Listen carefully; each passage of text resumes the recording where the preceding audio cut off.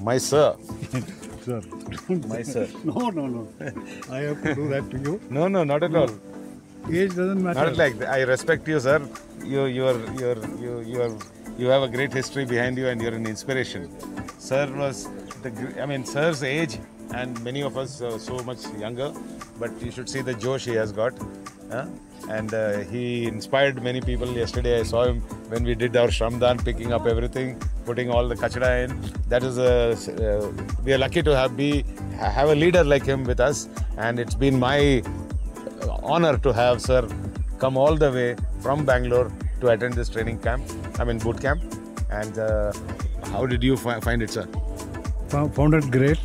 I mean, I don't think uh, we could get anything better than this. Uh, and uh, we have been inspired to start something, small or big. Yes, yes. But yeah, definitely. but do you feel you got the roadmap? roadmap? Yes, Yeah. definitely. Because the aim of this boot camp is to do this roadmaps, show people the exact path.